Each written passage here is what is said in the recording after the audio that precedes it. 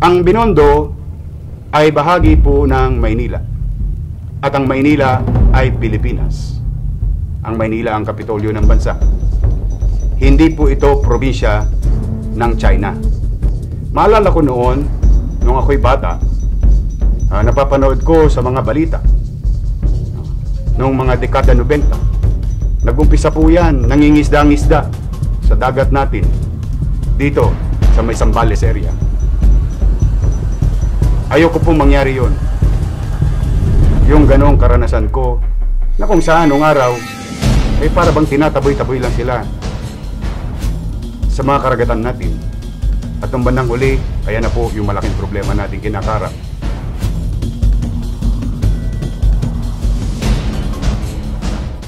Mga kababayan, ah, I hope hindi namin kayo naabala sa inyong mga gawain while we're doing this broadcast but this is a very urgent and ah, ah, nakapanginginig ng laman na balita at nais naming ah, i-share sa inyo ang aksyon na ginawa ng pamahalaang lungsod ng Maynila sa isang nalathala o lumalabas sa mga ah, social media account ah, at sa mga tindahan sa online.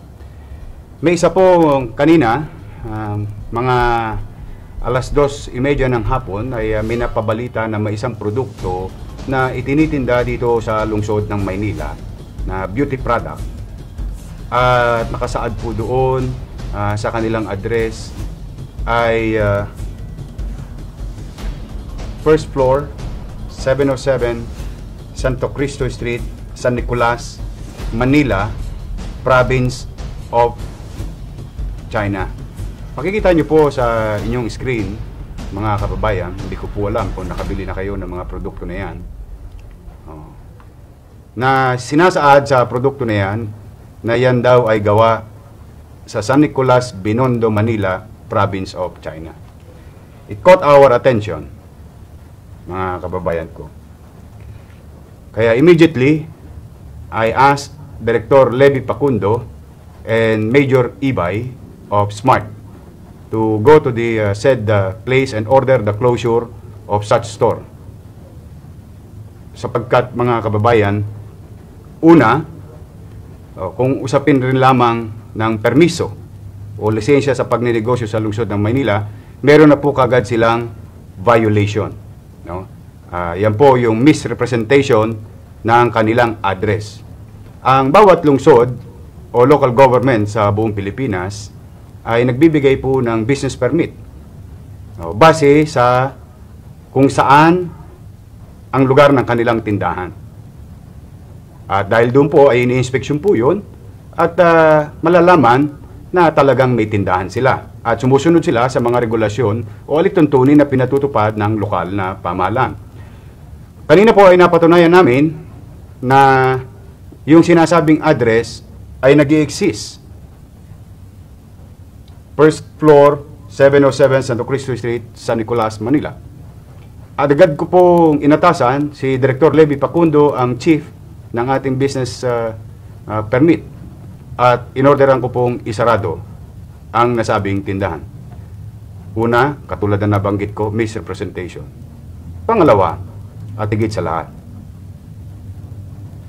Ang Binondo ay bahagi po ng Maynila. At ang Maynila ay Pilipinas. Ang Maynila ang kapitolyo ng bansa. Hindi po ito probinsya ng China.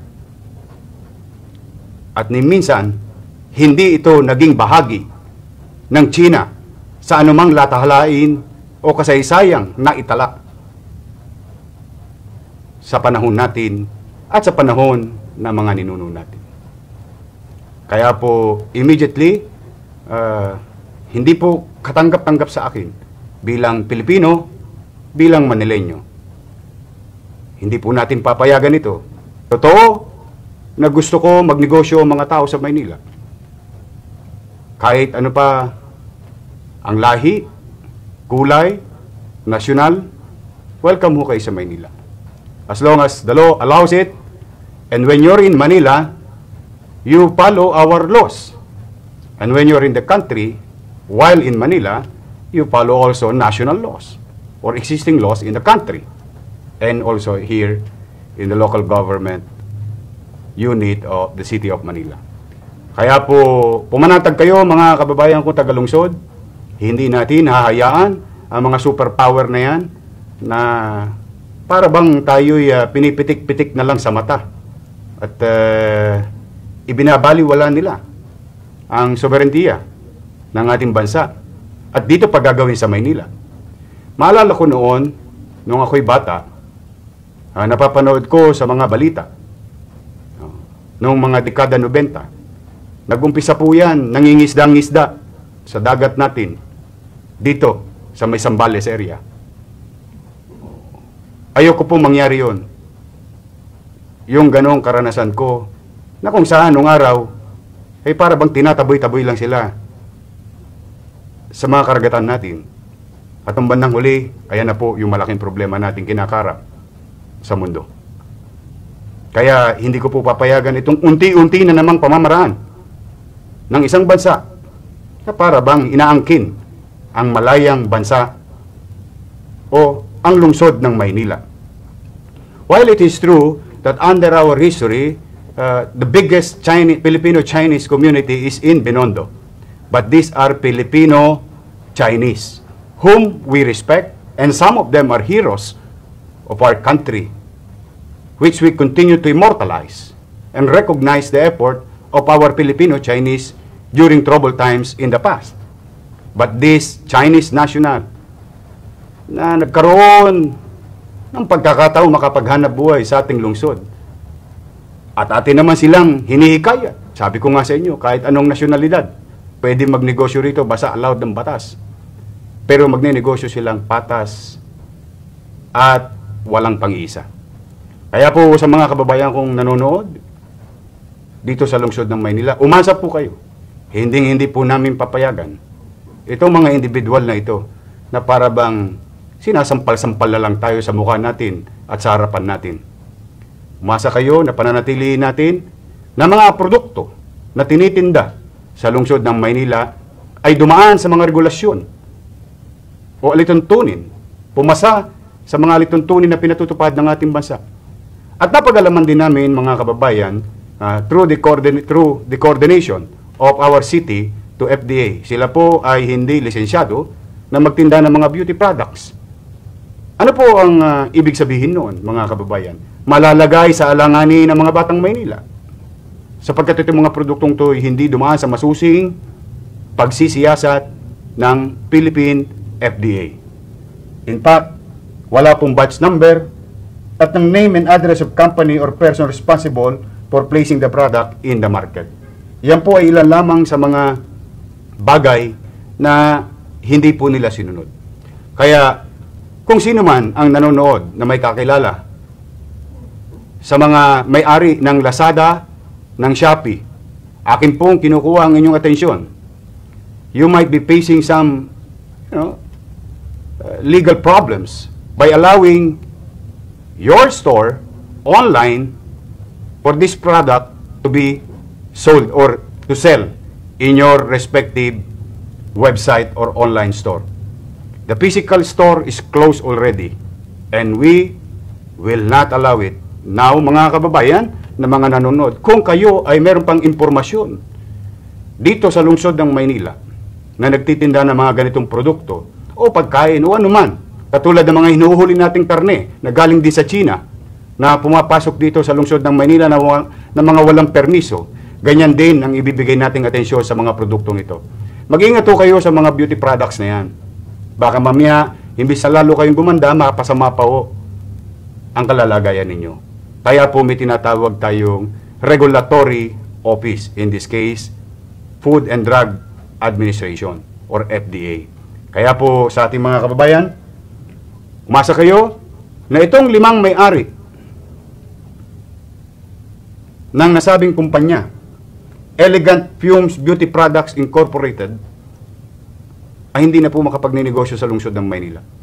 At dalawa sa lima ay mga Chinese national.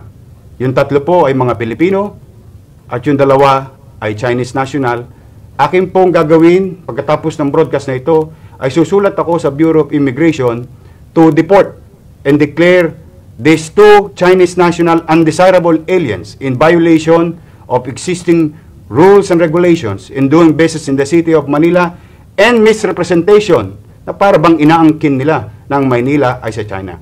Ilagay pa province of China. Hindi po ako governor ng China. Mayor po ako ng Maynila, Philippines. Yan po ang address ng Maynila. Ulitin ko. Manila, kapitolyo ng bansa. Ang bansa ay Pilipinas at ang Pilipinas ay Malaya. May sariling sovereignty ang ating bansa. So beware. Those who are watching, you may not understand me, you may ask your friends. Those uh, uh, foreigners, you are welcome in the city of Manila. We will protect you the way we protect our people. There will be certainty with our rules. Pipilitin naming maging makatwiran habang kayo'y nananatili o naghahanap buhay sa lungsod ng Maynila. But, at no way, at no way, no way, na kayo ay harap-harapang aalipustahin ang aming lungsod. Hanggat ako ang mayor ng lungsod, you have no place in Manila. Those who will do illegal business in the city. More so with foreigners. Muli mga kababayan, kung kayo may mga impormasyon, tulungan nyo kami maging mabuti at episyente sa aming paglilingkod sa inyo. Amin po itong tatanggapin at itatabi namin ang inyong pagkakilala. Poproteksyonan namin kayo.